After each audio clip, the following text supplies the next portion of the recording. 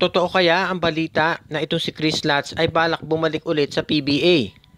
Para sa mga long-time fans ng PBA at lalo na ng San Miguel Beer, I am sure kilala nyo kung sino itong si Lats dahil SMB ang nag-draft sa kanya noong 2011 kung saan nung rookie year niya, Petron Blaze Boosters pa ang pangalan ng SMB noon, ay malaki ang na-contribute niya. Nag-average siya ng 15 points noong first year niya at marami ang na-impress sa kanyang performance dahil alam naman natin yung mga dribble drive penetrations nitong si Lats at yung kanyang jump shot ay talagang malaki na itulong noon sa Petron Blaze Boosters. Iyon nga lang nung second year ni Lats sa Petron, bumaba yung average niya to 8 points at taon-taon pababa na pababa yung average niya until eventually binitawan na siya ng Petron na naging San Miguel Beer na at siya ay naging unrestricted free agent. Kinuha siya ng Meralco Bolts kaya lang hindi na siya nakapaglaro doon dahil nagkaroon siya ng injury. Itong injury na to ni Lats sa kanyang hita ang naging dahilan kung bakit siya nagretiro kaagad ng maaga at siya ay nagpunta sa Estados Unidos. Pero ayon do sa mga reports, mukhang interesado daw itong si Lats na bumalik ulit sa PBA at willing siya mag-tryout sa mga teams para tignan kung sino ang makakapag-interes sa kanyang serbisyo. Although itong si Lats ay hindi na bata, marami pa rin niya makokontribute para do sa mga teams na naghahanap ng isang player na mayroong veteran experience at syempre ay magiging reliable din every now and then lalo na kung kailangan ng mga main scorers mo na magpahinga sa court. O kaya ito naman si Chris Lass ay pwede rin na maging isang point guard o kaya shooting guard at tandaan natin ang height nito ay 6'4 so kung siya ay gagawin mong isang shooting guard o kaya point guard magbababa ng bola malaki ang magiging advantage niya doon sa magugwardya sa kanya. Of course, syempre nakasalalay lahat yan dito kay Lats kung siya ay nasa kondisyon pa. Pero kung siya ay nasa kondisyon katulad ni Sol Mercado, ay baka nga merong isang PBA team na magka-interest sa kanyang serbisyo at magkaroon siya ng tsansa na bumalik ulit sa PBA at ipakita sa lahat na kaya pa niya maglaro ng basketball. Ang balita ngayon ay ang unrestricted free agent na si Alex Malyari ay magta-try out sa Barangay Hinebra dahil alam naman natin lahat na itong si Malyari ay naglaro dati para kay Hinebra coach Tim Cone nung hinahawakan pa niya ang San Mig Coffee at doon ay si Malyari ay nanalo ng maraming kampyonato kabilang na yung Grand Slam. At alam natin na ito si Malyari ay naging isang vital cog noon nung naglalaro siya sa San Mig Coffee B-Mig dahil nakapaglalaro siya ng multiple positions. Si Malyari ay huling naglaro para sa Phoenix Fuel Masters. Yun nga lang, hindi na nirenew ang kanyang kontrata dahil ang paniwala ng karamihan, bibigyan daanan ni Coach Topex Robinson yung mga bago nilang recruits. Ganun pa man, ito si Malyari ay 33 years old pa lang at nasa kondisyon naman at kitang-kita natin na kaya pa niyang maglaro. And of course, alam din natin na ito si Coach Tim Cone, ang gusto niyang mga players ay yung nakapaglalaro ng multiple positions. Kaya katulad na lang nito si Joe Devance na ever since nung maglaro yan sa Alaska, sa San Mig Coffee at sa Barangay Hinebra ay lagi nang kasama ni Coach Tim.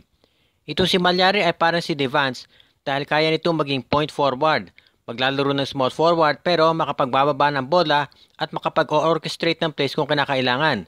Marunong siya mag-drive sa basket at meron din siyang 3-point shot kaya hindi na nakapagtataka kung bakit nagustuhan siya ni Coach Timko nung nandun pa siya sa San Mig Coffee.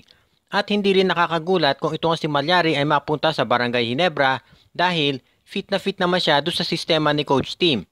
Kabisado na rin ni Malyari ang mga laro at yung sistema at yung mga plays na ginagawa ni Team Cone lalo na yung triangle offense at pagdating naman sa Barangay Hinebra, hindi kailangan ni Malyari na umiscore ng maraming puntos dahil marami na dyan. Of course, nandiyan na sila Japet, si Pringle at si Stan Hardinger.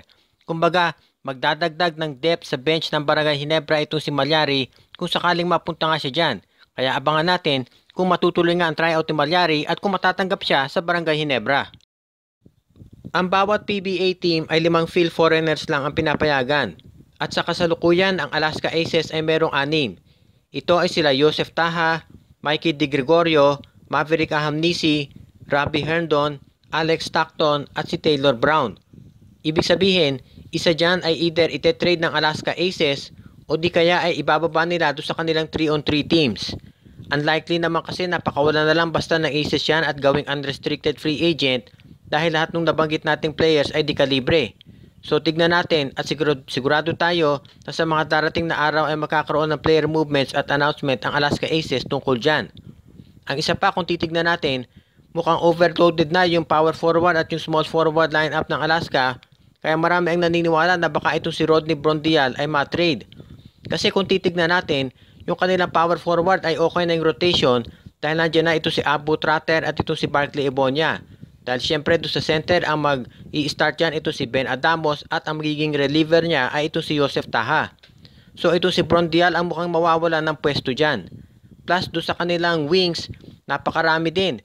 Nandiyan ito si Robbie Herndon, itong bago nilang recruit na si Taylor Brown, itong si Jeron Teng, si Maverick Ahanisi, although ang laro niyan talaga ay point guard at shooting guard. Plus nandiyan pa ito si Kevin Rakal.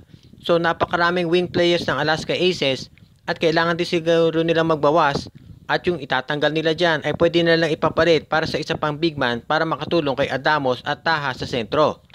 Sa ngayon, base sa ating analysis, mukhang marami pang adjustments na kailangan gawin itong si Coach Jeffrey Carriaso para mapaganda yung lineup niya.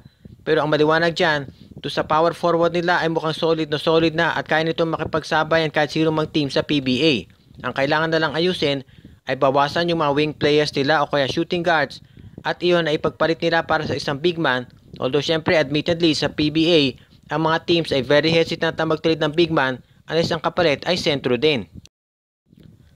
Ang isa pang team na inaasahan ng marami na gagalaw sa mga darating na araw at linggo ay ang Meralco Bulls.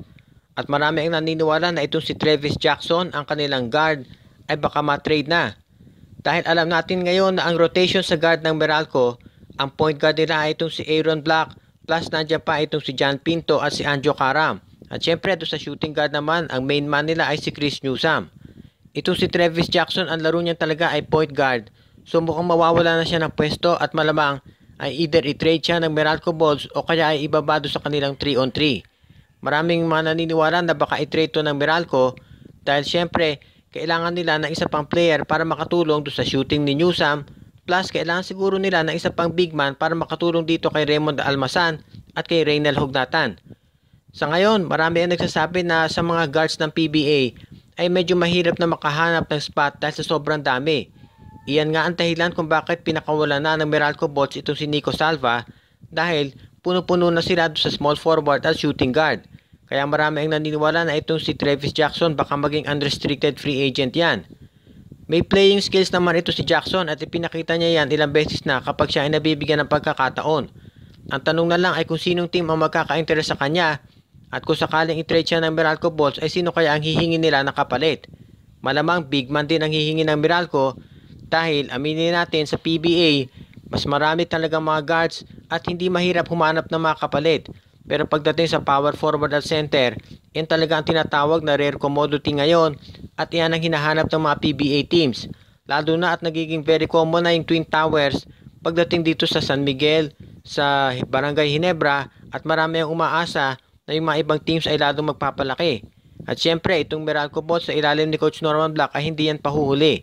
Kaya wag na kayong magulat kung ito si Travis Jackson nga at yung iba pang guards ng Meralco ay ma-trade na.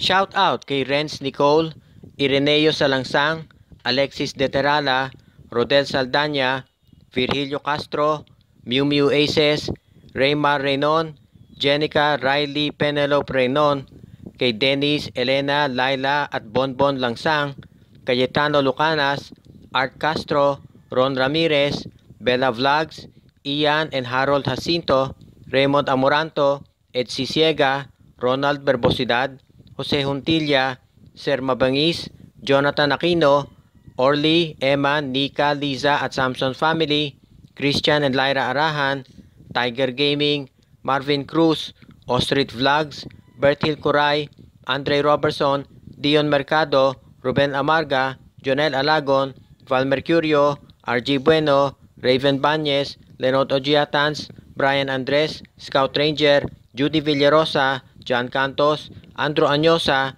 Joel Levantino, Eduardo Santillana, Len Santillana, Rico Olarte at Amo Marlu.